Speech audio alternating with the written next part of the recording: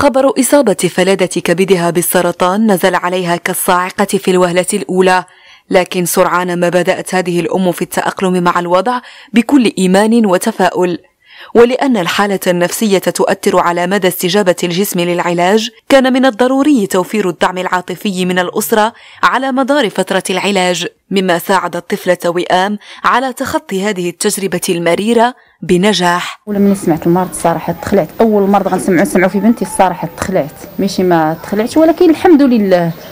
آه، دوزنا معاهم آه، معانيات. مرة نبكيو مرة نضحكوا مرة ناكلوا مرة ما ناكلوش. الحمد لله والطبه الصراحة شي طبة دزنا فيهم. الحمد لله الحمد لله.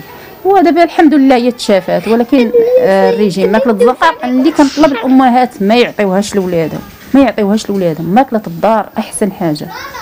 والحمد لله دابا بنتي تشافات وليت كندير على ال contrôle. دابا شهرين دابا عطوني ثلاث شهور هاد المرة عطوني ستة اشهر معاناة الأطفال مع السرطان قد تكون أشد قسوة على الآباء فألم العلاج يتقاسمه أهل المصاب معه بل قد يعانون أكثر منه في صمت. رحلة العلاج لم تكن هينة. بعض تفاصيلها المؤلمة تحكيها لنا وئام.